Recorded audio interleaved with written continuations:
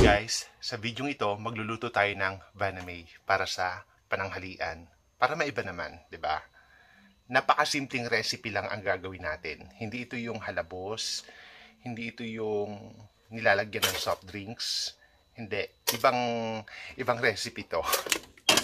Ito siya mga kaibigan, napakasimpleng recipe lang ang gagawin natin. Buhay pa to. Okay.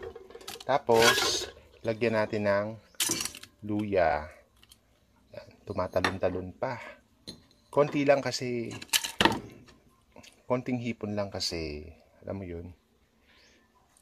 Konting suka. Tapos, lagyan natin ng, ah, tumalon. Ah. Lagyan natin ng konting tubig, asin, tsaka magic sarap. Konti lang. Tsaka natin takpan. Pwede na nating silbihan ng ating gasol. Ayan. Hintayin natin kumulo.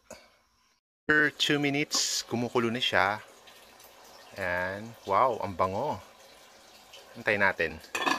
Another 2 minutes. Then, pwede na nating iserve. Saglit lang, di ba? Nakalimutan natin lagyan ng sili. Ayan, pampabango.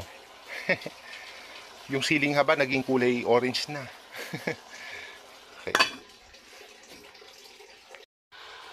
There you go. Let's see. 6 minutes all in all.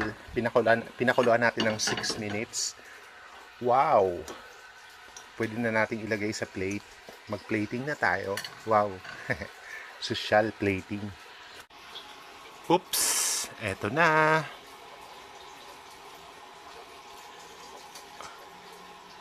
Wow, bango. Napakasimple. Meron na tayong pang lunch. Paksiw na hipon. O, di ba? So guys, this is gonna be our lunch for today. Paksiw na banamay with matching coffee and of course, ang hindi mawala-walang rice sa hapagkainan ng mga Pinoy. So, let's have a taste. Tikman natin yung sabaw. Okay. Wow! Sinasabi ko na nga ba eh, sobrang sarap. Alam nyo, imbis na maghalabos kayo, subukan nyo to. Lagi, paksiw style. Pwede mo naman siyang ano, isabay sa halimbawa magpapaksiw ka ng isda ng for example ng tilapiyang native or tilapiyang plapla o kaya bangus o kaya sapsap. And isab ano, isabay mo yung hipon in that way kasi parang for me ah, lumalabas yung linamnam ng hipon talaga.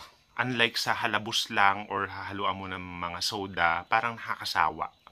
Pero kapag ipapaksiw mo siya, doon mo talaga may enjoy yung yung yung kumbaga aroma yung is so flavorful basta delicious siya